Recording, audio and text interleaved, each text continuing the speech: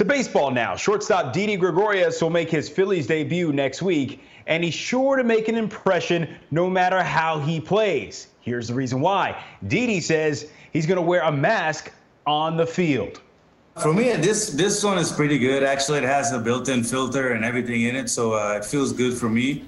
And I'm definitely wearing it in games because I I take it as, as a safety for everybody, you know, for me and people around me. So I think wearing it will be normal for me. That's why I'm playing it right now, so I can get accustomed to it.